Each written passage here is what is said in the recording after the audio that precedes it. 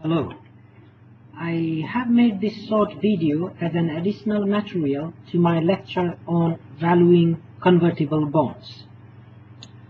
Basically, I want to show you how we can calculate value of a bond that are convertible into shares. So, how to value convertible bonds is the agenda. Now, look into this diagram. This diagram in fact explains the major idea of convertible bond valuation. Well, when share price is below P, the share price is below P, it is unlikely that the bond will be converted into shares. Therefore, it is effectively a straight bond. So, you can find the value of the straight bond using simple bond pricing formula. However, when the share price is above P, greater than this P, this gives an advantage to bond holders to convert the bond into shares. The convertible bond price will be the conversion value which is basically the share price times the conversion ratio. Okay, now here is the example and the steps.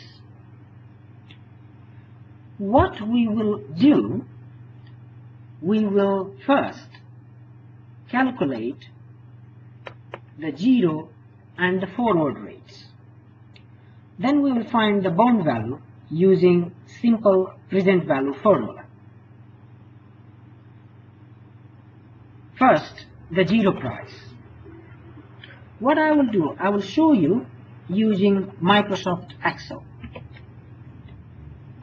This is something I've already done here. So, we needed to find out zero price and forward rates. First, the zero price.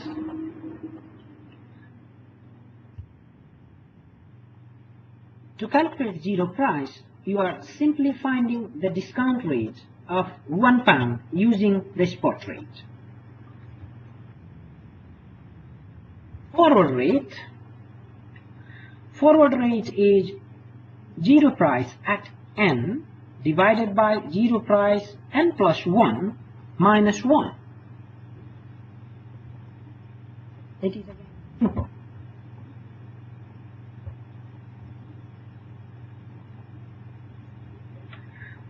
Now, let us find out the bond value assuming it is not going to be converted, i.e. normal bond.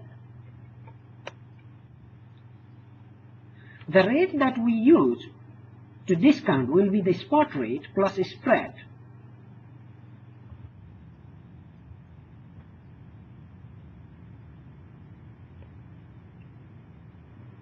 Because the spot rate is like risk-free rate and spread is the proxy for premium. So we capture a realistic rate by adding up spot rate plus the spread. Now, calibration of interest rate tree to get the present value of 1012.95 goes like this. What we do, we need to find out the interest rate. So you construct the binomial model interest rate tree such as this. You go here and take the forward rate of second year, which is 11.94 to start with. So 11.94 percentage. Now, this is basically the 3.85, which we have here. Yeah? Okay, 3.85, which is forward rate. Yeah? So you have this. Now, over here, we have used a formula, and the formula is this. This one here. Basically, we, have used two times standard deviation because we have two possible ways, going up, going down. So the volatility is therefore multiplied by 2. Now, after this, what you do is, you know the cash flows for year 1 and year 2, and you need to find out the present value in time 0. So, what you do now is you work out this cash flows and you're finding here the present values. Okay, finding here the present values. Now, this is basically a simple present values. But you're dividing it by 2. You see here dividing it by 2, mainly because you are, you have either F23 or F25. So 23, 1090 or this.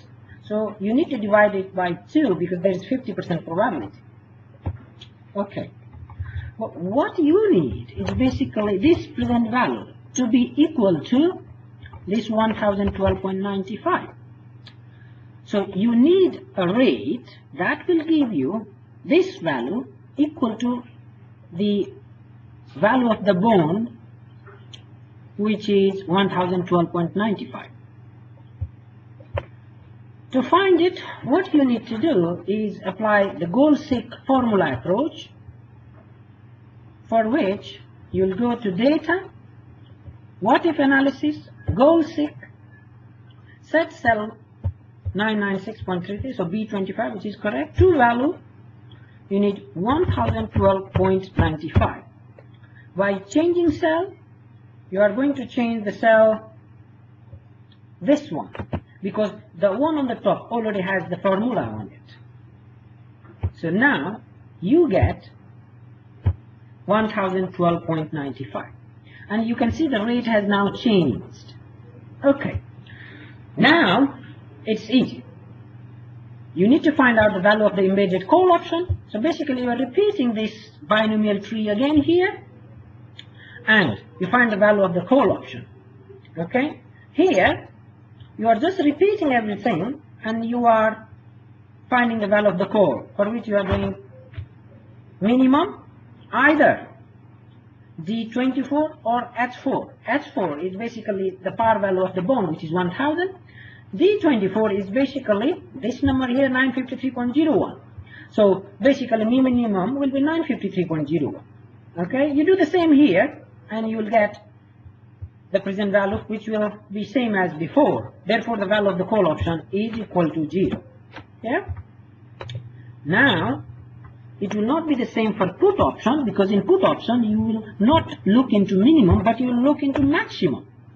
Therefore, the put value is 1043.26. Therefore, you have 30.31 as your value of the put option.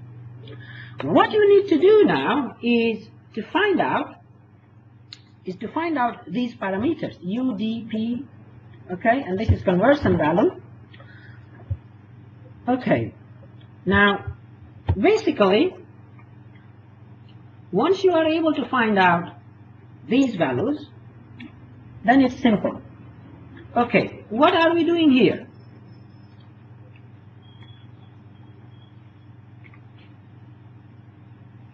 We find by how much the sale price will increase that is u or decrease that is d. And then we determine the probability p of the upper value and probability 1 minus p of the lower value. Remember conversion value is 912 which is conversion ratio times stock price per share. Okay. After that, here you start with 912, use u to go into this state. So this is it. You multiply 912 by this value here, and so on. And these are all represented by red arrows for U and V. Okay? Now, you go here, and each time you are on these points, you are making a decision whether to convert or not. So basically, here you are converting because it's higher than 1000, which is the par value, so 231. Here you are not converting because it is lower than 1000, so only 0. And applying all this, you find the present value, which is this. Remember, in this case, while finding out the present value, you are using the exponent function because this is about sale price, not about the bond like we did here. And in case of sale price, the sale price fluctuates on a daily basis, so it's good to use exponent function. And you find the value of equity call is equal to 69.37. Now what you do, you add up all these values. You add up the these values, which I will show you using the precedence. So you add up value of equity call, you add up value of put option, you add up value of call option, and finally you add up the straight line bond value. What you receive is called convertible bond value. Of course, some reading is important. This is a short video, but the materials are available in my blog at www.wordpress. Sorry, www.banksandmarkets.wordpress.com. I hope you enjoyed this video. Thank you.